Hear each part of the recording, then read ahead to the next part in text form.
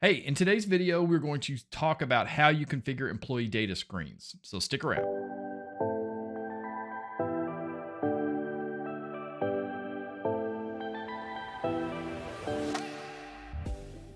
In the video today, we are going to cover the first place, the first thing that uh, new uh, customers should be learning when it comes to Employee Central configuration, and that is managed business configuration. This is where you go to do most of the key things that you're going to need to do um, when it comes to updating the configuration within Employee Central. So it's a really important uh, transaction to become fami- familiar with. Uh, now, a couple of caveats here. Uh, the first is that this only handles the, I would say, quote unquote, standard um, uh, employee data structures. Uh, so this is distinct from uh, things like payment information and like deductions that are newer and that are using um, metadata framework uh, structures. Uh, and that those MDF structures are handled separately. Um, we will do a video down the line on that. But the other area that you need to know is that if you are using onboarding 2.0, there are additional uh, things that you're going to need to do configuration wise in order to support that. Um, and so we have a separate video that's going to come after that, after this one, that is going to cover how you handle onboarding 2.0. Um, if you have onboarding 2.0 in your system, the configuration does change a good bit, and we're going to talk about that in our uh, part two video. So, with those two caveats um, out of the way, let's jump in and let's look at the configuration. Okay, so to get to managed business configuration, we simply need to type in manage business configuration. And so what I'm going to show you when we jump in here is uh, explain a little bit of the uh, anatomy of the screen. So on the right side is the detail uh, of the fields. We're going to get into that in, in, much greater detail here in a bit. But on the left side is where you're going to see all the portlets. So on the upper left are the HRIS elements that are used for Employee Central, but also I want to call your uh, attention to the fact that the employee profile is also visible here. So if you want to do configuration tasks for just the general employee profile, uh, you can do those uh, here as well.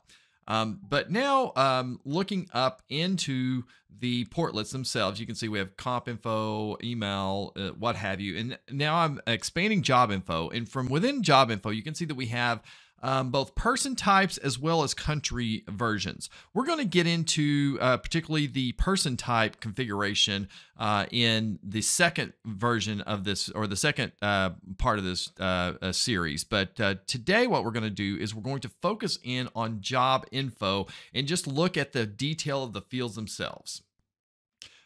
Starting from the left, we have the identifier column, and this is where we would select uh, either standard fields or custom fields. We'll show that a little bit more later.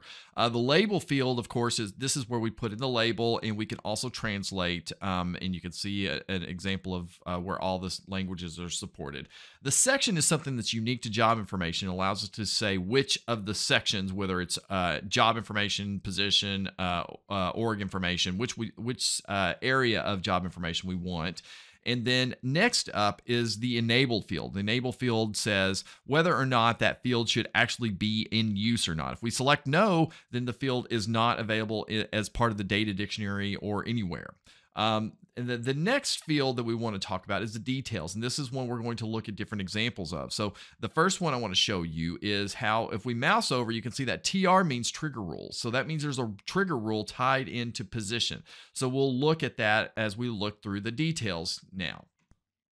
Getting into the detail, you will see the first uh, important field is mandatory. So yes or no on that field, uh, whether or not we want that field to be a required field. Um, we're going to look at the uh, reference object and what that means uh, in a little bit, but some of the other fields that we want to uh, highlight right now, number one would be visibility. Visibility, uh, I can either set fields to edit or view.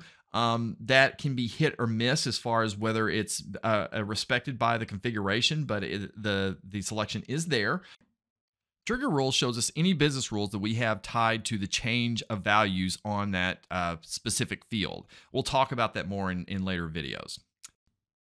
Okay, so those are the basic fields. Now, what we're going to do for the remainder of this video is show you some other things that um, are also uh, uh, covered as part of the configuration. The first thing we want to show is what if, if I uh, look at this one, you can see this one's an HR uh, sync mapping. And so what you can see here is that we actually have business unit. Uh, if we scroll down uh, to this specific example, we have an HRIS sync mapping uh, to the standard field of custom 01 business unit. So we have this field being synchronized uh, to the employee profile to a custom field. The next details uh, section item that we want to cover is the FI.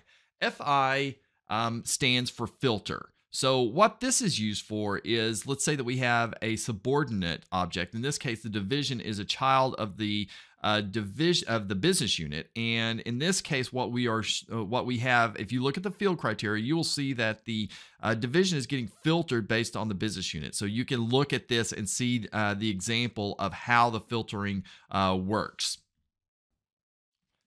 So now let's walk through a custom field. You will see here that I have going into the detail on custom string three, which is uh, a field called supervi supervisor position vacant. And the one thing I wanted to show you here is an example of a pick list.